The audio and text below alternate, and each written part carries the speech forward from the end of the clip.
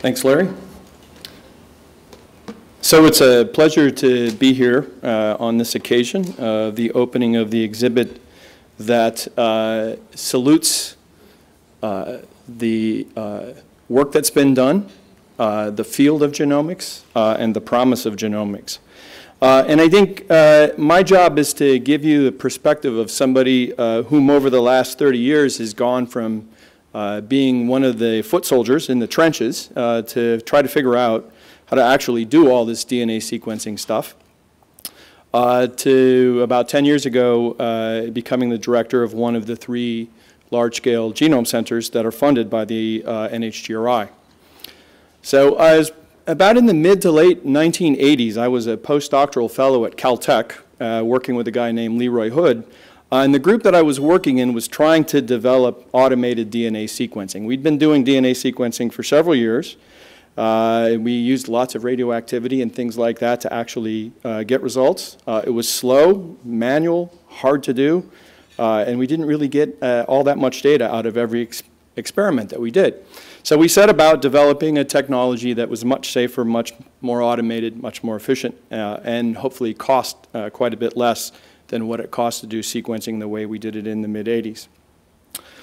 And uh, while I was working in the lab, uh, my boss would occasionally come back from these meetings uh, where they discussed the possibility of sequencing the Human Genome Project.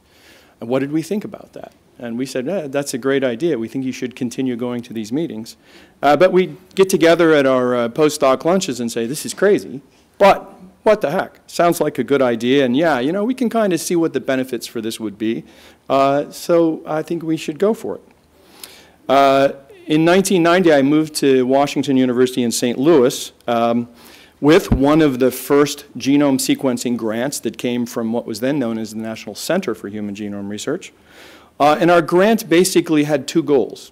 The first was to begin to sequence the genome of a model organism called C. elegans, which is a little roundworm uh, that is interesting mainly because it's taught us a lot of important biology uh, including apoptosis, uh, which is programmed cell death, which has become very important in a number of human diseases, including cancer, uh, as well as to start to build the infrastructure, the methods, some of the software, et cetera, that would be uh, instrumental, or indeed critical, for actually thinking about sequencing even the first human chromosome, let alone the human genome. Uh, so uh, this went well. Uh, back in those days, we did draw parallels to the, to the space program, as Eric touched on. Uh, and, you know, uh, we made a goal uh, as a nation to land a man on the moon and bring him safely back to the planet Earth only after we'd, you know, realized very modest success in, in launching a, a few rockets, a few of which didn't explode. And the, the most recent at the time of which actually carried a human into suborbital uh, flight. And that's kind of the same situation that we sort of uh, saw in front of us. So we had to sequence three billion base pairs uh, of, uh, of, of, genome.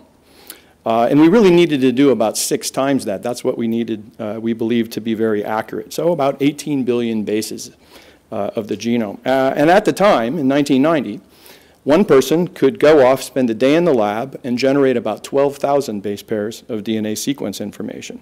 So we figured we needed about a million and a half person days, about 4,000 years, uh, uh, to actually get the job done. And it was expensive sequencing. This is why we just didn't get a 1,000 people and expect them each to spend four years getting the job done.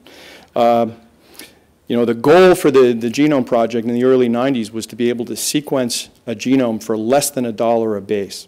And I can remember going to the Cold Spring Harbor meeting, uh, I think in about May of 1992, and reporting on the beginnings of the C. elegans genome sequencing project. Uh, and we'd done about a half a million bases, which was an amazing accomplishment in those days. But uh, Richard Gibbs, who's now the director of one of the other uh, centers, raised his hand at the beginning of the Q&A and said, how much was the cost per base, Rick? And I said, well, it was $17 a base. Now, there was a lot more than sequencing that had been done with those funds, a lot of development and so forth. Uh, but that's about the level that we were at, and we still had a long way to go. And if you think about computing which was another challenge that we had back then. I actually had a portable computer in 1990. It didn't have a battery.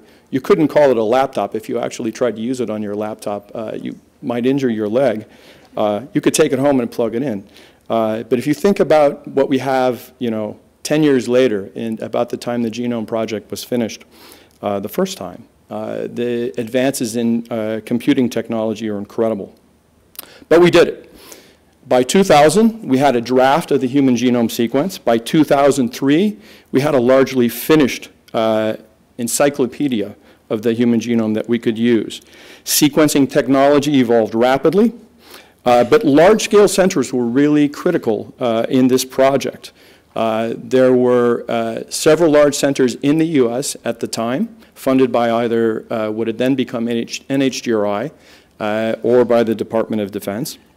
but there were also centers in many other countries around the world, including the Sanger Center in the UK. Uh, at the peak of our sequencing uh, work, uh, in about the time the Genome Project was finished, we had 135 of these expensive, complicated uh, DNA sequencers. Uh, as Eric touched upon, uh, one of the key things that we had going for us were companies like Applied Biosystems, who was really the, the major manufacturer of the key technology throughout the 90s. the companies could take technology that was developed sometimes in academia, sometimes at companies, uh, and commercialize and most importantly harden these technologies into boxes that we could use in the labs uh, to get the job done. They were supported uh, and they were repaired by the companies, but the centers really had a key role in sort of focusing on the methods, the applications, the software development, all the things that really made those uh, sequencing instruments uh, a powerhouse. So by 2003, uh, we could sequence a human genome, uh, as, as Eric sort of said, for uh, something in the 15 to 20 million dollar range. I would argue that it probably took a, a, couple of years, uh, at least, rather than uh, a few months. But as sequencing technology has continued to develop uh, in the years since the Human Genome Project was finished, uh, I mean, it's been amazing. The biggest breakthroughs came in the mid 2000s as we started to get our hands on what is what is known as next generation se sequencing technology.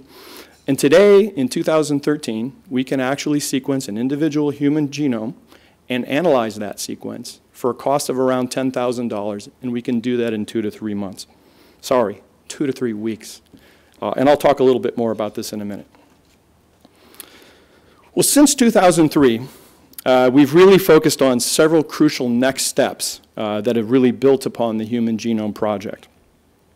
We continued to refine the reference human genome sequence.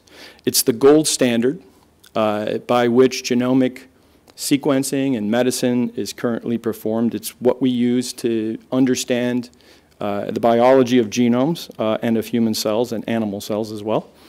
Uh, it was about 98% complete uh, in 2003 when we declared victory. Some of the regions that remained unfinished were essentially impossible to resolve with the technology and the methods that we had then. Uh, and we knew that some of these regions contained uh, important uh, human disease genes. Uh, several of them contain the kind of uh, variation that Eric uh, touched upon in his talk, which we refer to as structural variation. And those regions are characterized by very repetitive elements and are just almost impossible to sort out with the technologies that we were using even six or seven years ago. Well, we've resolved many of these uh, through the aegis of the Genome Reference Consortium. Uh, my lab in St. Louis is part of this, as is the Sanger Institute, uh, the National Center for Biotechnology uh, Information, and the European Bioinformatics uh, Institute. And by bringing in some of the new technology that's come available uh, over the last couple of years, we've laid in plans to sort of take this gold standard to a platinum standard.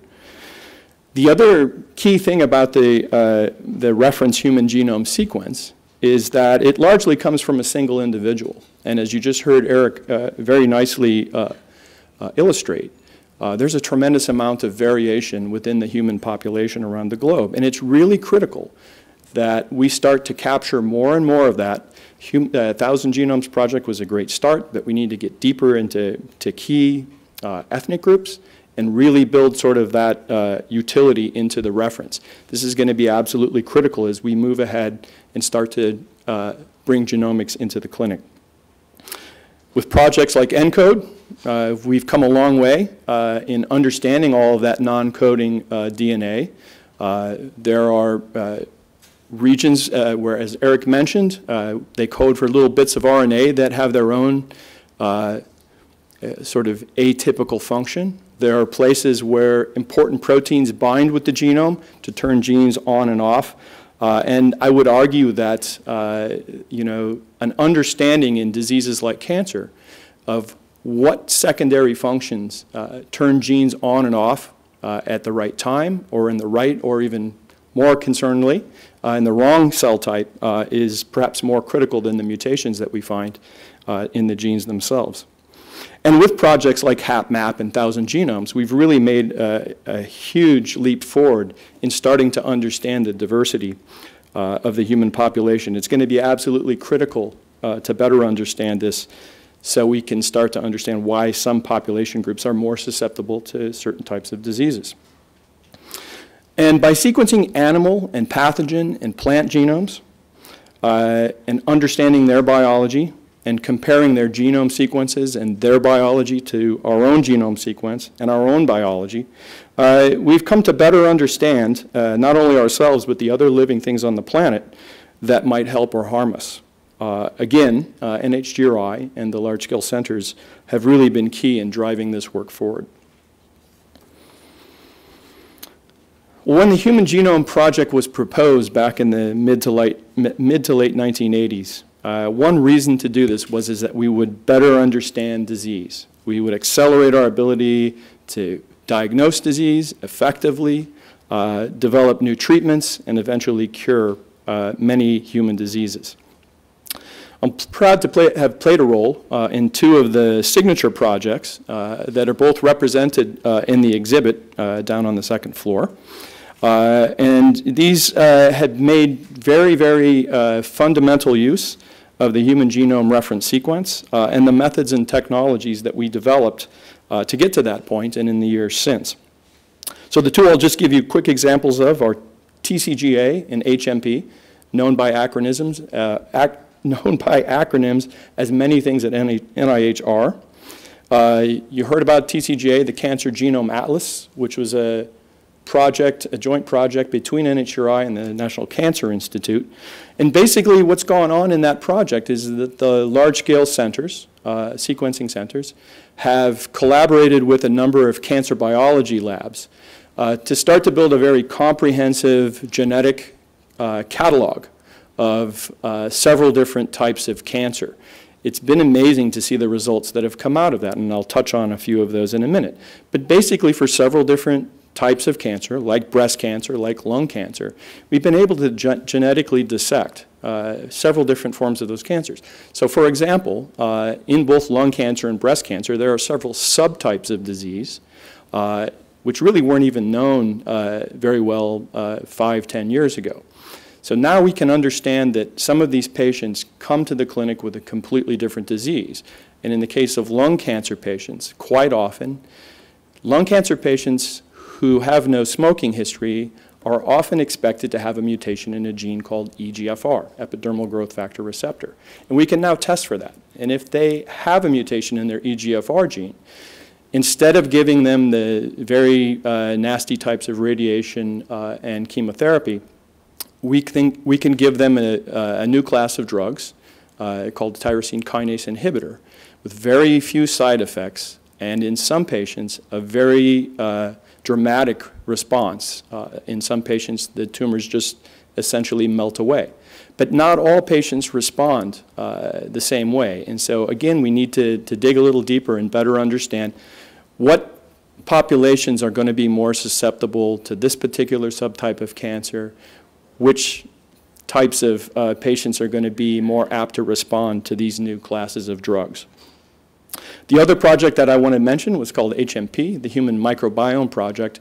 And here we've been able to use all of this large-scale sequencing technology to start to catalog the population uh, of microbes that are present uh, in our uh, GI tract, uh, in the insides of our mouth and nasal passages uh, that are carried around with us all the time. Uh, and there's a pretty good hypothesis that as our health status changes, if we become ill, or maybe as a cause of becoming ill, uh, there's a change in these microbial uh, populations.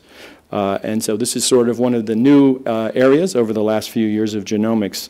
And again, uh, the technology, the methods, the software, the infrastructure that were developed during the Genome Project have made these kinds of things possible. Well, to talk a little bit more about cancer, uh, in 2008, using this next generation sequencing technology that I mentioned a little earlier, my lab uh, at Washington University was able to publish the first report uh, of the genome sequencing of a cancer patient. Uh, and this was, uh, the patient was a woman uh, who lived in St. Louis and had been diagnosed with acute myeloid leukemia. We actually sequenced two genomes from that patient. Uh, her normal genome, which came from some skin cells, uh, uh, which were taken at the time uh, that she had her first uh, bone marrow biopsy, and her tumor DNA, which actually came from the bone marrow biopsy itself. So uh, it blew our mind uh, that we could actually make this work. We used this new technology. It actually took us a couple years, not so much to do all the sequencing for that patient, but to develop the software tools and to try to understand how to deal with the enormous amount of data that we had generated from this new technology. But it worked. Uh, in her tumor genome, we found 10 mutations in genes, uh, and we now know several years later, after sequencing uh, a couple hundred more patients with acute myeloid leukemia, we know the two genes uh, that we saw mutations in that ultimately caused her disease. So just in our lab alone, since that first cancer patient's genome, we've sequenced the genomes of over 1,500 cancer patients. This, again, is something that uh, I would have a hard, had hard time believing uh, around 2000, 2003. But we've done it, uh, again, because of all these new developments.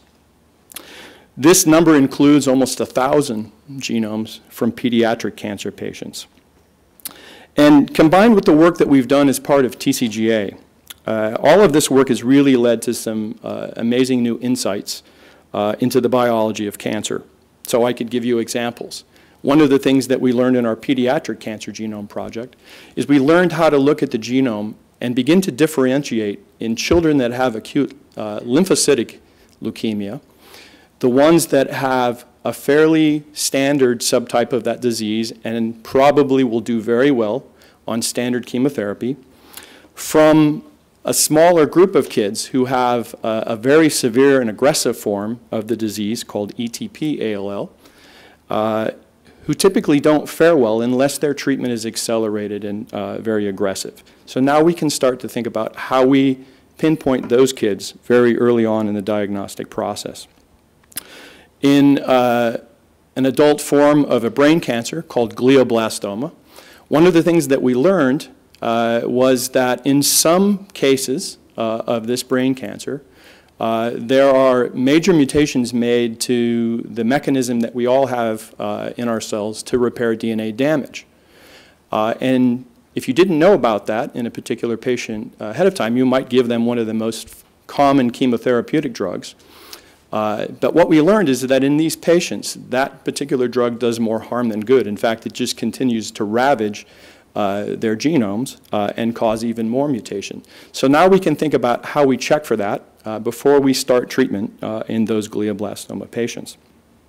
And finally, uh, in the disease I first mentioned, adult acute myeloid leukemia or AML, we now have what we call a genetic playbook that sort of gives us some direction as to which patients probably will, will fare best with specific treatments.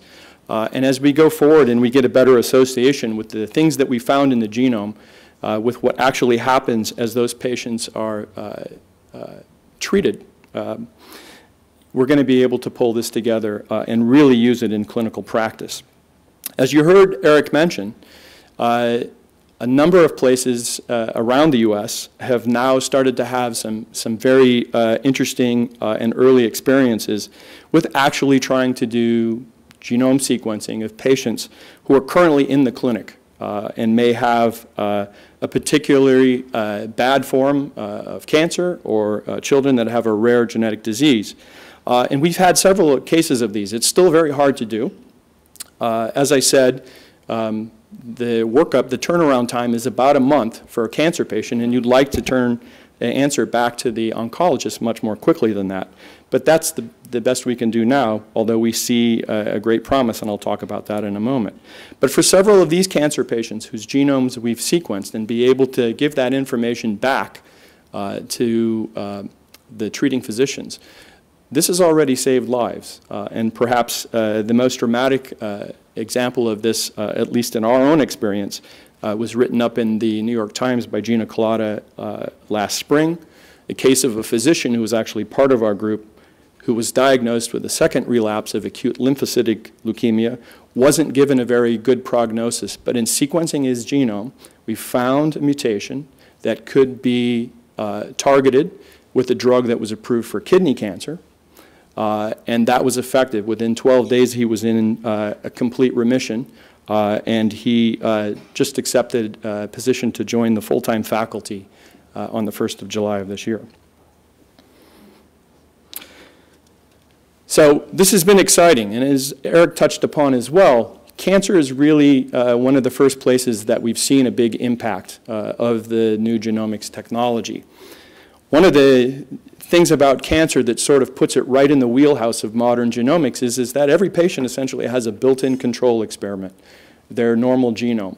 So we can sequence their normal genome, we can sequence their tumor genome, and we can compare and look in the tumor genome for the mutations that have arisen and probably uh, get clues to what actually not only caused their disease, but how we might be able to effectively uh, kill it.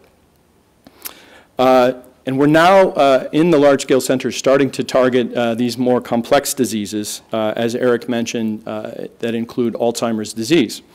Uh, the large-scale approach is really critical for these because there is no built-in control for every patient. So what we need to do is to sequence lots of people, cases and controls. Cases are folks that have a particular disease. Controls are the folks that don't have the disease. But because each person is already 3 million base pairs different, within their genome, it's difficult to say, is that particular variant related to their disease or simply uh, due to the fact that they're not the same individual whose genome we sequenced earlier. So there's a real need for scale here. We have to look at thousands of people uh, with and without disease. So we've come a long way uh, since those often contentious discussions about whether we should or shouldn't sequence the human genome uh, or whether we would learn much from doing it. We've learned a tremendous amount. Uh, we did it, we did it well. Uh, and uh, through the Human Genome Project, uh, and in the 10 years since, uh, we've developed incredibly powerful methods, technologies, software tools, as well as infrastructure and the ability to manage huge amounts of data. we've learned an amazing amount of relevant human biology, We've uh, also learned an amazing amount of, and useful uh, amount of information about animal uh, and pathogen biology. We've learned valuable and applicable uh, things about human disease, and we can start to see how we move those into the clinic. So for somebody like me, who's been a part of all of this uh, since the beginning, I can't even remember, 20, 25, 30 years ago, uh, it's exciting and it's satisfying, but I have to say that I'm really the most excited about the next 10 years. You know, I told you earlier that uh, we can now sequence and analyze an individual human genome for about $10,000 in a couple of weeks.